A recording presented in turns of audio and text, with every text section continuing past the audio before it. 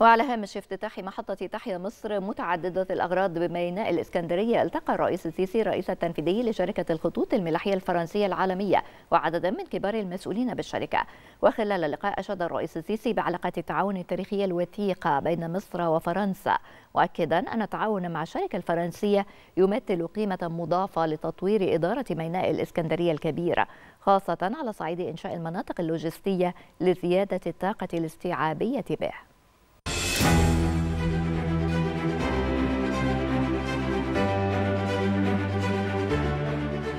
في إطار قيام السيد الرئيس عبد الفتاح السيسي بحضور افتتاح محطة تحيا مصر متعددة الأغراض بميناء الإسكندرية الكبير ورفع العلم على سفينة وادي الملوك أكبر وأحدث سفن الأسطول التجاري المصري. استقبل سيادته السيد رودولف سعادة الرئيس التنفيذي لشركة الخطوط الملاحية الفرنسية العالمية CMA CGM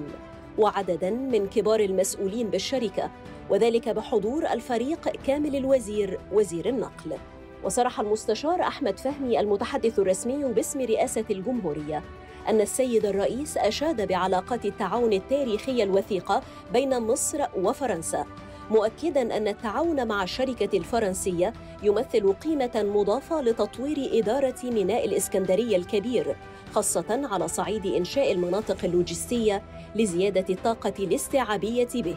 بما يعزز من قدرته في دعم التجارة والتصدير والاستيراد ويرسخ من مكانة مصر كمركز لوجستي وتجاري عالمي.